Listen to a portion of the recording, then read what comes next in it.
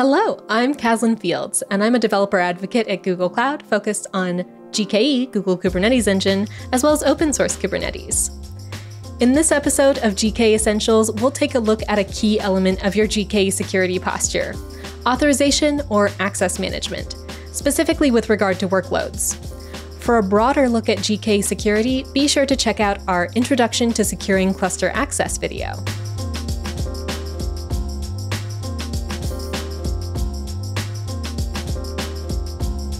When it comes to GKE, there are two distinct types or levels of authorization that you should be familiar with Google Cloud IAM and Kubernetes Role Based Access Control, or RBAC. The IAM in Google Cloud IAM stands for Identity and Access Management.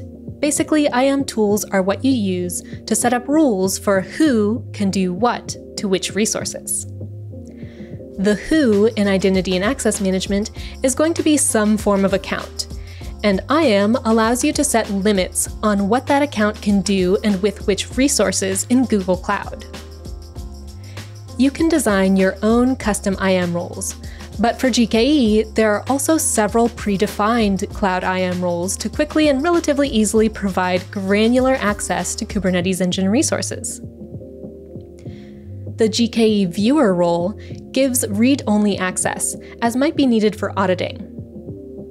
The GKE Developer role is suited to developers and release engineers. It grants full control to all resources within a cluster. The GKE admin role gives full access to clusters and the Kubernetes Engine resources inside the clusters. Example users are project owners, system administrators, and on call engineers. The GKE cluster admin role is used to create, delete, update, and view clusters, but provides no access to Kubernetes resources within the cluster. You can also create a custom role in Google Cloud IAM to create a role with a more minimal set of permissions than those that are predefined. So, Google Cloud IAM can be used to control Google Cloud users' access to the GKE cluster and its related resources.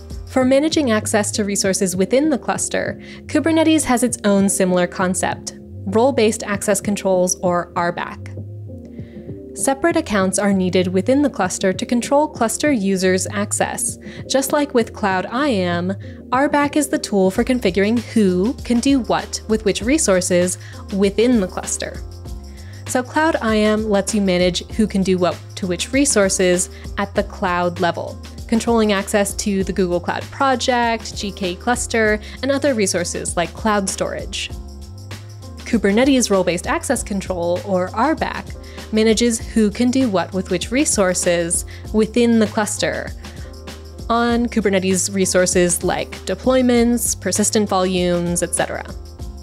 But what if the thing you want to give permissions to isn't a user, but a workload running within Kubernetes? For cases where the who is a workload, both Google Cloud IAM and Kubernetes RBAC have a concept called a service account. At this point, it can get a bit confusing.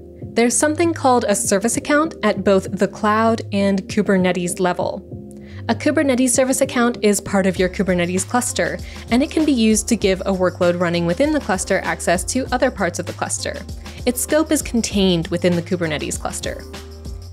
A Google Cloud Service account is part of your Google Cloud project. The who of a Google Cloud Service account can be a Google Cloud resource like a GKE cluster, which can be given permissions via IAM to access other cloud resources.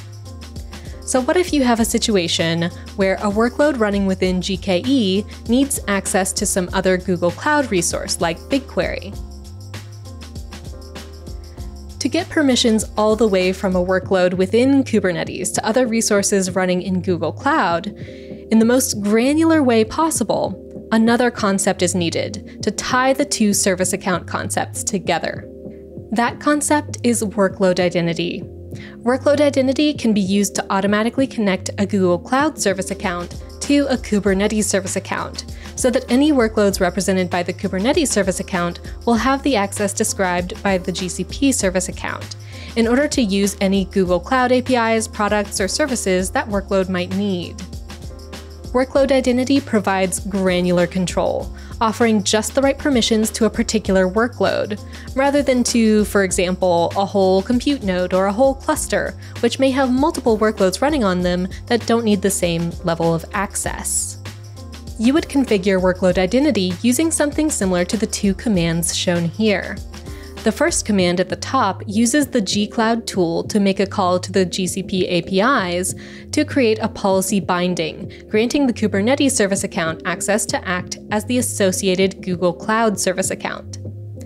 The second command at the bottom uses the kubectl tool to use Kubernetes APIs to annotate the Kubernetes service account with the name of the Google Cloud service account it will act as. These concepts can be a little confusing at first, but workload identity can help make access management for workloads running within your GKE clusters much smoother and easier to manage. In this episode, we talked about managing access to resources at the cloud and cluster levels, and about simplifying access management for Kubernetes workloads via Google Cloud Workload Identity. With the concepts discussed in this video, we're confident you'll be on your way to building a GKE cluster that suits your needs. You can get started with GKE by visiting the Google Cloud Console and checking out the links below. And stay tuned for our next videos where we dive deeper into GKE topics.